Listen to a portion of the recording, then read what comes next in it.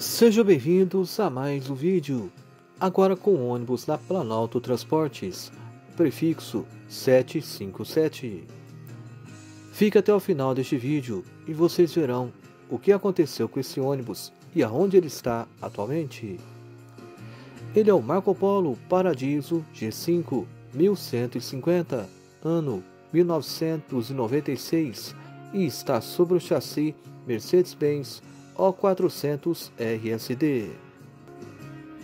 Esta foto mais atual foi tirada na cidade de Porto Alegre, Rio Grande do Sul, no dia 19 de dezembro de 2009. Depois de muitos anos na Planalto Transportes, ele foi para Minas Tour, da cidade de Oliveira, Minas Gerais.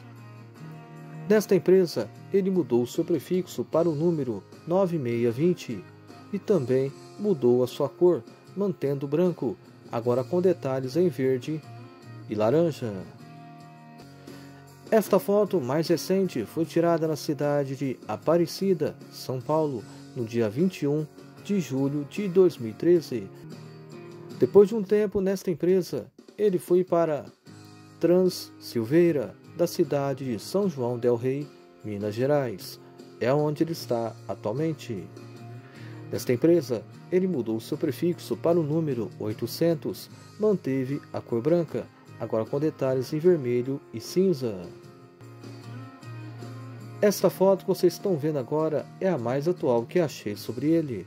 Foi tirada na cidade de Trindade, Goiás, no dia 14 de junho de 2024. Reparem que ele está muito bem conservado e tudo original.